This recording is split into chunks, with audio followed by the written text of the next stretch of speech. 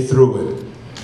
And uh, I- I'm happy to be able to pay it forward. I'm happy to see this all come full circle uh, and, and to be an honoree. Uh, and to be here in front of you at Casita, which used to be a sizzler. Y'all laugh. This used to be a sizzler. I used to come here and eat. I don't know what that has to do with tonight, though. Um, I'd like to thank you all for coming out and, and just know that whatever you can give, uh, if it's not to the UNCF, to any organization, to any grassroots organization within your community, within your neighborhood to help students get an education, to, is worth it.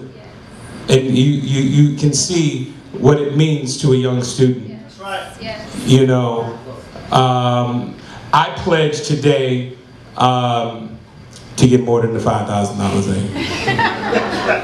Actually, I gave a bunch. Uh, I gave a bunch of five thousand dollars that year. That was just one of them. You're just just so y'all know, it was one of them.